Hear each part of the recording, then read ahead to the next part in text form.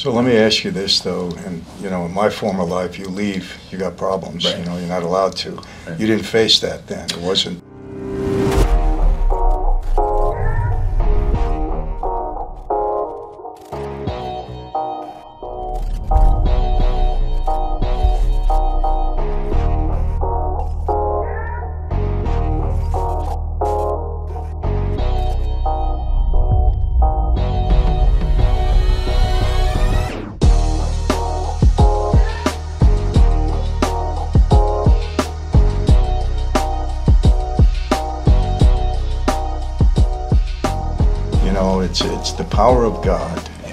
You know, you just want everybody to be able to understand and feel it. Yeah. You know, how it is life changing. With me, it was one verse, you know, when I had the whole world falling down on me. Yeah. I had the government upset with me because I wouldn't cooperate. I yeah. had guys on the street because I was walking away. Yeah. My dad, be, you know, disowned me. Yeah. And um, one verse, Proverbs 16 7. When a man's ways are pleasing to the Lord, right Yeah. here, even his enemies are at peace with him. Amen. And the Lord spoke to me through that, and it caused me to read on and get to some other verses that really, during my time in solitary, almost three years, Yeah. that uh, you know I just uh, I studied, and I, I want to ask you this. You know, I say this all the time. I'm not a perfect Christian. Mhm. I'm certainly better than I was before Absolutely. I came to the Lord, but my faith is rock solid Mm. Because of the work that I put in, not only to know my Bible, but Sure. to to see what the Lord has done, not only in my life, but in the lives of other people, Right. to see that it was so real. And then for me, it was all about evidence. The evidence that supports biblical authority is so strong, Right. so powerful. And, you know, in my ministry, I try to teach people that. I say, look, don't take my word for it. You know, there's a, there's so much evidence supporting the validity of Scripture So true. and then you see how God works in their life. So, you know, and I want people to understand. I mean, I know you're a lot better than you were before, but I'm Yeah. sure you don't claim to be perfect Yeah, because yeah. we all, you know, we all fall short at times. Mm-hmm. But I'm sure your faith is rock solid. Yeah, yeah. Based upon your experience, what the Lord has done in your life. I mean, listen to that. You know, your your dad now accepting you and having this relationship, which you would have never had had you not come to the Lord. It's unbelievable. Yeah. Amen. And you know, and and uh, you know, it's always the women in our lives. it really You know, is. Your mom, my Yeah. God, what a what a saint. Yeah. Huh? Seriously. And how does she feel now? Oh, she's so this? happy. Yeah. But she's always like rubbing it in my. She's like, I told you. you know, Acts sixteen thirty one is is really. My testimony is also part of her testimony. So Mhm. everywhere she goes, she also talks about that. You know, she's like like you know she does the church choir and she does the translation still at church and the parents come and they're like, oh, my son is you know 14, 15 and he's vaping and, and she's like, it's okay. You know, my son, his name's Johnny. Mhm. Do you know how bad he was? He did worse than that. So she plants hope inside of people. You know, Yes. and um, you know, in terms of the perfection aspect too, you know, I, I believe that um, God's word has to really be above our thoughts because true sin is, like I said, unbelief, meaning trusting our thoughts above the word of God. So if God says, for example, water is wine, in our eyes it's water, we tasted it's water, it's filled in six water pots. Mhm. But if God is saying, no, it's wine and it's the best tasting wine, we must, in order to trust God, throw away our thoughts, throw away what we see, and throw away what we feel. Mhm. And that was the, the message of that. So my mom did the same thing. She Mhm. said, Oh, when I look at my son Johnny, he's a lost cause. She would call me a monster. You're a monster. You come out, you know, and you're you're you're still doing this crazy stuff and I heard this about you and that about you. You're still selling drugs. You did so many years in prison, like you're institutionalized, there's something wrong with you, you know? You're mental. But then when she believed the word of God, she threw all of that away and Mhm. started to say opposite things, breathing life into me essentially, Mhm. breathing hope. You know, the power of the tongue is really important. Amen. so I always ask my mom, why, why did you say that, mom? Like, what made you believe? And she said, Pastor explained to her one time about Abraham. You know, um, I'm sorry, about Adam, where Adam names all of the, the animals in Genesis. Mhm. You know, and I always wondered why did God do that? You know, was God too tired to name the animals? right? But what God was saying was, whatever Adam said, so shall it be. So if he called it a rhino, it was a rhino. If he called it, you know, um, an eagle, it was an eagle. So whatever you say, so shall it be. He was trying to point that out. So my Right. mom was continuously saying, "I'm a monster. I'm a sinner. I'm not. I'm not changed," and that's what was coming out of that, right? But she started to breathe life into me through those words, and really, I started to change because of my mom. Yeah. You know, so I was able to see that this Bible, this this book that they say is man made, the people who don't believe, it, there's no way. I've read it 21 times, going on 22, and I'm like, man, every single time I read it, there's always something that gets, you know, That's discovered. You know, so it's a beautiful thing. Yeah. Wow. uh, Unbelievable. And let me ask you, how did your, uh, your former gang associates accept this transformation? So at first, of course, they were like, they didn't like it. You know, they said, "Come on, Johnny, like we know who you are." Because I would say, "I'm perfected and righteous through Christ," and they'll be like, "Pfft, "Okay, Mhm. Johnny, if you're righteous, we're all righteous." You know, Mhm. because we remember. Don't you remember the time that you? And they would remind me, and I didn't like that. At first, I was angry, but I try to disassociate myself. But when I told talked to the pastor about that, you know, because I lived with the church a year after that, right? Mm. And I was like, Pastor, my friends are this way. Like, do I just cut them off? And he's like, Why would you cut them off? You know, you should acknowledge what they're saying in front of God. So yes, you were that person, but they don't know that you've changed. So if you just continuously live well, you don't even have to preach to them. Don't even push the gospel to them. And I was like, what? That's crazy. I thought now I got to preach the gospel hmm. to the ends of the earth. He's like, because they don't know. But when they see you and they see the transformation, they're, it's going to pique their, their interest. It'll make their spirit yearn. And that's true. So little by little, they started to notice that I didn't have to carry a gun anymore. They started to notice that other enemies, you know, people who are, you know, the opposition were respecting me. Like, hey, Johnny, I heard about you. Blah blah. They shake my hand and they're like, yo, what the heck? Like, we're, we're there's bloodshed over these these gangs. You know, we've years of war and we're like shaking hands, you know, breaking bread, eating and stuff, and taking pictures together. So we're all like uniting, and they were recognizing that, my friends. And then they started to see again how my mom had that peace. They started to see the peace inside of me, and they were like, "Yo, that's crazy! Like, how come you're not out here? You don't have to drink. You don't have to do coke anymore. You don't have to smoke anymore. You don't have to do anything. Like, you're just cool. You know, you're you're happy." And then they started to come to me with their problems. Hey, bro, you know, I feel empty, bro. Have you ever felt empty? Yeah, yeah, there's a verse for that, actually. Mhm. And I'll help them. And, and a lot of my friends now come to church. It's pretty cool.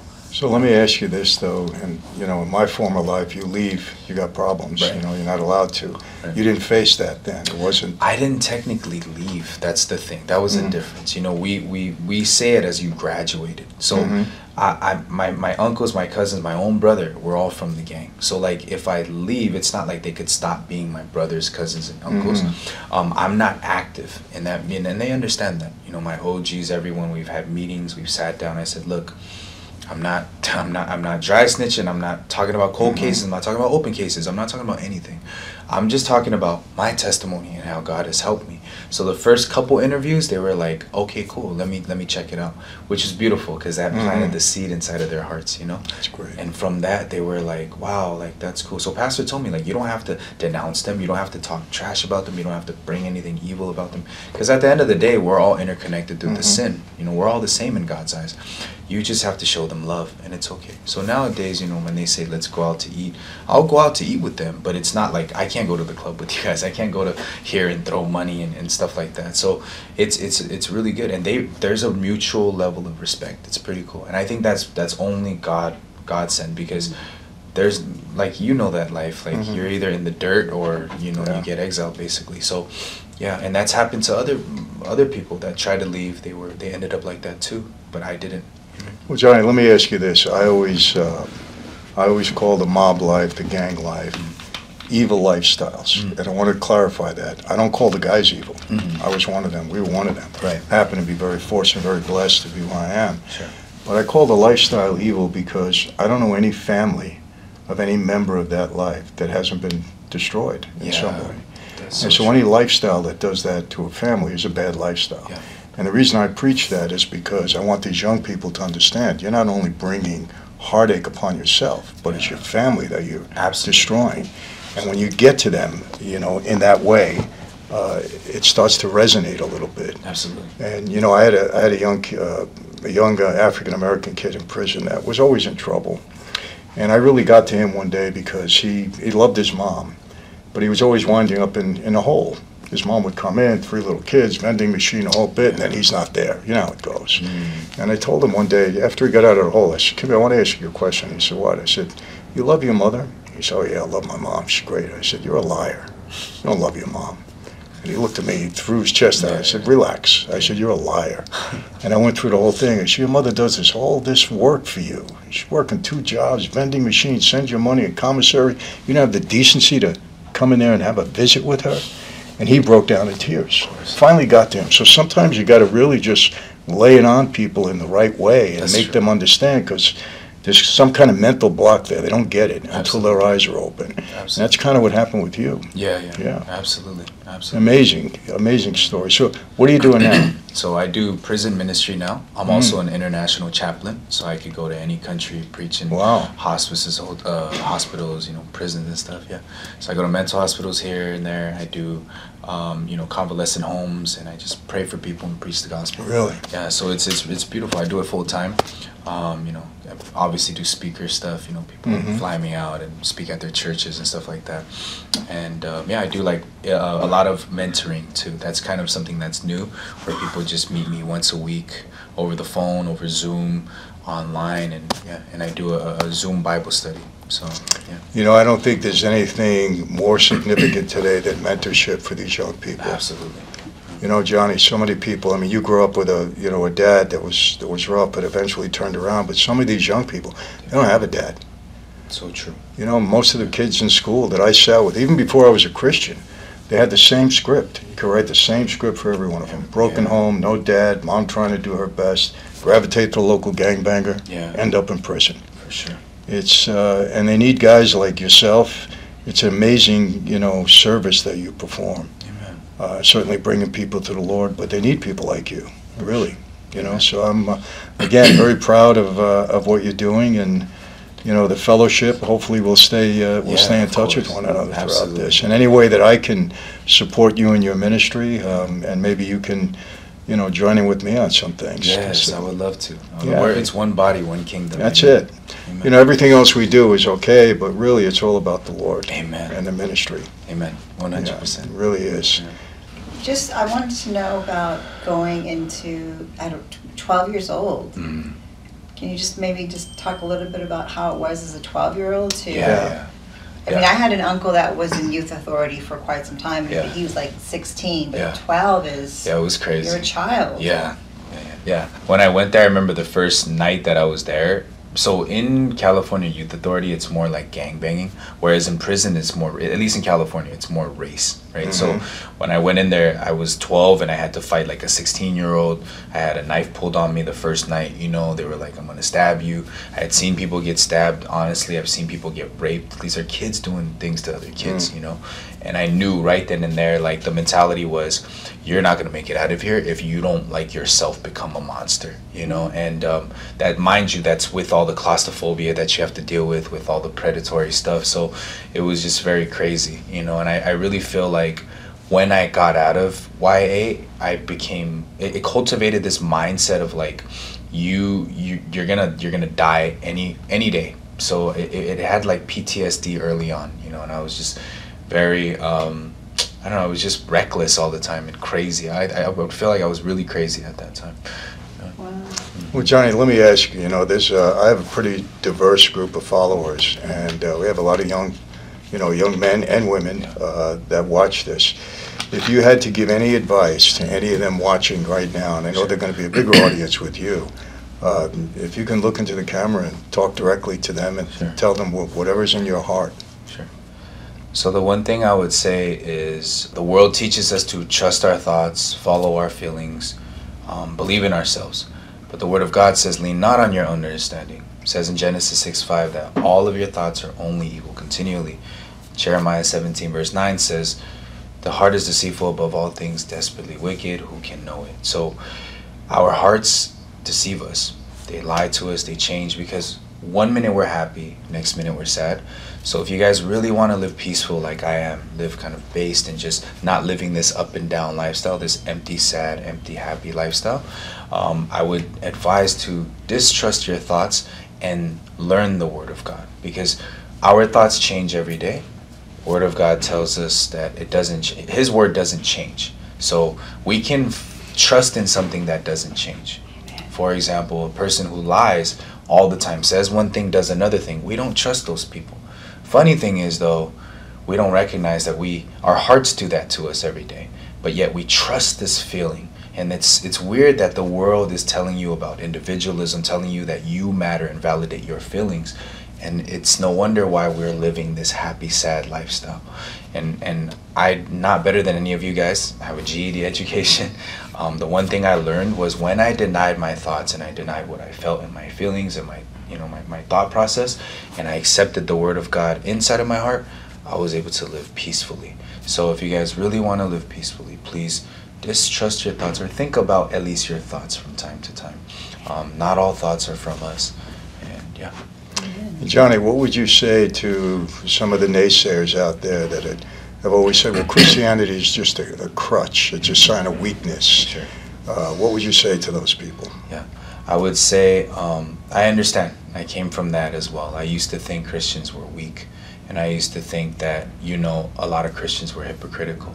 But for me personally, um, every religion teaches you to do well. You know, Buddhism, Islam. I was Muslim for three years as well in prison, and um, but Christianity was the only religion that teaches us we can't do it without somebody saving us. I couldn't get out of my depression. I could only maintain it with Zoloft and Prozac and antidepressants. Um, I couldn't get out of my anger. I could only maintain. And that's why God had to lift me out of that. So I would say, please, if you can, you know, keep an open mind that, you know, everyone just wants to be happy. And um, there's a lot of church hurt, which we apologize for. But there's also a lot of people who don't know how to preach, who don't know the heart of God, Mhm. and are also trying to figure things out themselves. I would ask that you guys don't blanket, you know, and say, hey, this guy hurt me, so I'm going to just say everybody and, and, and loop them all together. There are people like us who really want to plant hope, who really love with the heart of God. And if you guys can give a chance to hear what I'm saying and see the heart that I have, then you'll be able to really um, live happier. And that's the end goal, is to be happy. Because when you're happy, your family's happy. When your family's happy, it takes family, one family at a time, and this world can change. You know, so. Amen. Yeah, and, and one last thing, Johnny. I know, you know, I've said this many, many times that it's it's such a burden to carry around anger, resentment, um, and all those feelings that get you angry with somebody. Sure. You are obviously able to release that with your dad, and just let people understand how how liberating it is to Mhm. release that anger Yeah. and, and hate that you might have for Sure. someone. Forgiveness, a lot of people think is for the other person, but true forgiveness is for yourself. Amen. Uh, when you forgive somebody, you're actually free from the bonds of that torture and that, you know, rage and that anger and that envy and jealousy. So I would say, you know, if, if, if you're not going to do it for other people, that's fine. At least for yourself, you know, to break the chains. You know, yes, I've been to prison, and some of you guys here maybe, um, you know, have not been to prison, but we're all prisoners in our heart. We're all locked away and, and confined by some type of thing, and that's sin for, for us. For other people, it can be addiction, other people, it can be anger. But to break free from all of that, we do have to learn to think outside of ourselves and to think about other people as well, you know, and to think that, hey, that person who hurt you is also somebody who is going through, you know, this generational curse, through trauma themselves as well. Mm-hmm. And once we recognize that, it's kind of like a, buil- a, a, a house. I'll use an analogy. If you look at a house, for example, there's a builder and there's a renter and a vandal. So a person who built the house, let's say somebody comes and vandalizes the house, graffiti, breaks the window. Do we then blame the renter or the homeowner? No, we blame the vandal, right? There are people who, for example, my father was the house. And when I looked at him, somebody came and vandalized him inside of his heart. You know, I was blaming him for a long time, and that caused me a lot of stress and him a lot of stress. But when I saw that there was a vandal, an external source that was leading him and dragging him, I was now able to take my eyes off of him and blame the vandal. And that's something that applies to everybody. You know, yes, we all struggle as well. You know, we're we're not we're not better than anybody else. So if we're all interconnected to the struggle, we once we think about it from that perspective, compassion is the byproduct. Forgiveness is the byproduct of understanding that we're all the same. We can humanize people in this way. Amen. Well, Johnny, I don't know if we, we have much more to say, but, uh, you know, look, it just shows you the power of the Lord in anybody's life. Amen. You know, to, uh, not only the power of forgiveness, but how to, uh, you know, just turn someone's life around. Amen. It's amazing, and I know you attribute that all to uh, the power of Jesus Christ in your life. Glory so, God. Hey, listen, I hope this is the first of many times we get together. I'm, Yes. I'm fascinated with your story. I think your testimony is better than mine. I'll be honest with you. I really mean that because you uh, you really had. Uh, you had a lot to come out from. So, hey, God bless, God and thank you so much for, you. for coming. Thank you. Thank you. All right, so there you have it. I mean, like I told you, I'm sure he didn't disappoint anyone. What an incredible story of transformation. Do you understand what this young man went through? An abusive father, a mom who, you know, was being abused by the dad. He was abused by the dad, beat up, you know, went to the street as a result of a hatred that he had for his father. Hatred. It drove him to the street. Unlike mine, I love my father, and that drove me to the street. See the parallels there? When somebody has an influence on you, positive or negative, how it could push you into something. Okay, he gets to the street, becomes a hardcore gang member. And I mean hardcore. At the age of 12, he goes to prison. The age of 12, goes through that, spends a couple of years, comes out. Okay, gets involved with the gang even more heavily. What happens then? Goes back to prison, does a total of 10 or 12 years. Unbelievable. And then it all changes. It all changes when his mom accepts Christ and brings him, doesn't force him, but through a series of situations, he gets to uh, meet a pastor that had had such an impact on his life. You know, for those of you out there that think Christianity is a crutch, it's not a crutch, not at all. Okay? It's, it's, it's an anchor in our life. It gives us strength. And I want to make this very, very clear. You know, because I know people talk about my faith all the time. I am by no means a perfect Christian. I am better than I was at one time in my life, no doubt. But I will tell you this like Johnny, my faith is rock solid, based upon the evidence, based on what the Lord has done in my life, based on what I've seen Him do in the lives of others, and based on what He's done in Johnny's life. This isn't, this isn't make believe, this is real. For all you young men, you young women out there, any age, doesn't matter. If you really are determined to find some peace in your life, to make a transformation, to come out of a difficult, a bad situation, then I encourage you, man. I don't hit you over the head with it. I'm not trying to turn you into a Christian. I'm not imposing my faith on you. But like Johnny, we're obligated to share our faith. And look, release the burdens, man. Release the devils in your life.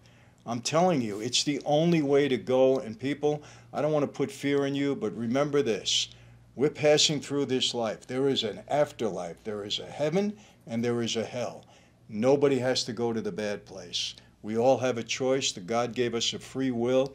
And I'm telling you all, you will find peace in Jesus Christ the same way Johnny did, the same way I have, and the same way billions of Christians throughout history and that are alive today have done the same. So I hope you were encouraged by this, people. I certainly am. An incredible story.